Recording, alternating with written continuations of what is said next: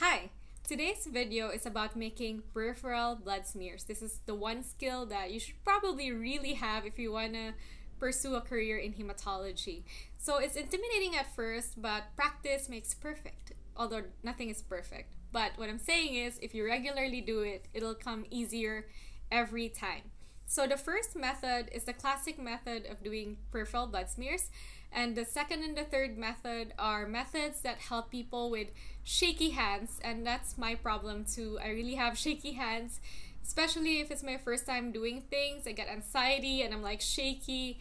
So the, the first one is a classic one, and the second and the third one will definitely help people with shaky hands. So here goes the first method. Okay, so first and foremost, I want to show you how I hold the glass slides. So let's just say these are glass slides. These are just, you know, plastic pieces that I cut up so that I can show you better. I supersized it for the sake of teaching. So this is gonna be where your drop is gonna be. And this slide is your spreader slide. So you're gonna hold it like this. So thumb up and two fingers down. That's your spreader slide. Okay? I don't know if you can see it that's how I hold my spreader slide. It's a much stable way of holding it. Some people hold it this way. That's another way too. You can spread it that way. Or some people do it with just two fingers. I don't know. I don't know if you can do it, but for me, the most stable way of holding the spreader slide using the classic way of making peripheral blood smears is two fingers down and one finger up. So your thumb up and that's it. So you put your drop here, you put your drop of blood here, you go all the way up, make sure the blood spreads all the way to each side of the slide, and then slowly drag it down. Making sure that this is touching the glass slide all the way. Like they're flushed together all the way. And another mistake that people actually do is they go too fast. And when you go too fast, the blood doesn't spread as evenly and as nice as it should. It becomes jaggedy and it's not gonna look nice. So the slower you go, the better the blood spreads.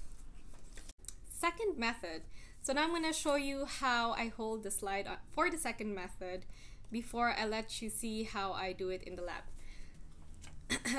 so the slide where you put your smear on is gonna be held vertical to you so it's going to be standing up like that and you're going to hold two fingers on the north side, upside of the slide and then your thumb on the bottom to support it. And then the other slide is going to be perpendicular this time. This is going to be your spreader slide and it's going to be perpendicular. So you put a drop of blood up top right here you spread your spread you put your spreader slide on making sure that it's flushed on the other side of the slide like right here. It's going to be touching all the way going up. Then your drop spreads and then drag it down. Okay let's repeat it in the lab this time and hopefully you're watching it carefully. This is one of the easiest way of making peripheral blood smears because you're holding both slides. And if you're shaky like at least the other one's shaky too. So when they're touching together to actually make it stable. I don't know if that makes sense but it helps me a lot with my shaky hands that i'm holding both slides together. So make sure that it's touching all the way up and all of the side of the slide of your spreader slide is flush to the slide that you're spreading the blood to. And again speed matters go slower than faster. The slower you go, the better the spread of blood goes. okay, so third method of doing this. This is an interesting method that I learned from one of my coworkers. She studied in the Philippines in Cebu and she has this method where there's it's just there's no way even if you have shaky hands that you're going to have swervy smears. It's not gonna happen because you're locked into your slides. So the way she grips the slide is so this time the slide where you put the drop on is gonna be horizontal to you, so horizontal. Like that. Hold it this way. So thumb and two fingers right here. Now, this is the tricky part. So your spreader slide actually goes right that. See how shaky my hands are? And then you make your angle. So two fingers up top and one finger down here, your thumb down here. So like that. And then you're making sure that it's holding both slides, both the slide where your blood is. This is also this is also a two-handed method like the one earlier. I think just for shaky handed people, two-handed method in making your blood smears are more stable than the classic spreading technique. So for this one, you use all your fingers for support. So you're holding on to the blood, um, what do you call this? Blood slide where your blood is. So you go all the way back and then you go all the way forward.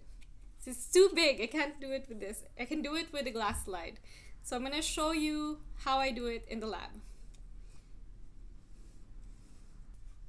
Okay, so 45 degree, you go back and then you hold everything together and you go down. So it's like um it's like a train, like there's a track. You're holding it the whole time.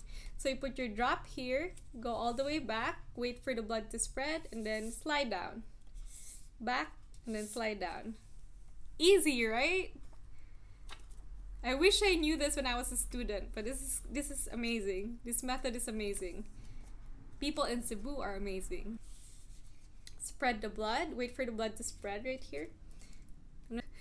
So it spreads right there. When it spreads from end to end of the slide, you, you glide down slowly.